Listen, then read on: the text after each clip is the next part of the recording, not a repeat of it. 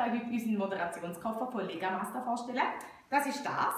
Es ist recht groß, es ist recht schwer, hat aber extrem viel drin. Ich zeige es euch gerade. Aufmachen geht äh, so, dass ihr da unten dran einfach klick, aufklickt.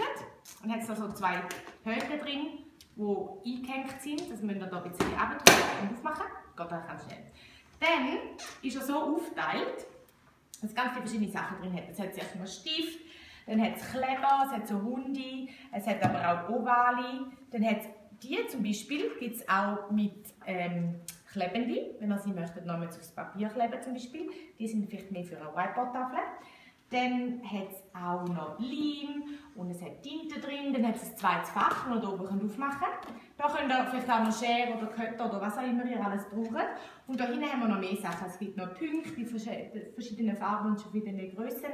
Und es hat hier auch noch so Wölkchen, wenn man es braucht für irgendwie etwas Spezielles, wo ihr könnt, ähm, spezielle Emotionen reinbringen Das ist alles in diesem Koffer erhältlich. Und Ihr könnt den online bei uns bestellen. Ihr könnt aber auch gerne uns anrufen, wenn ihr irgendeine Frage habt. Und sonst bis zum nächsten Mal. Tschüss!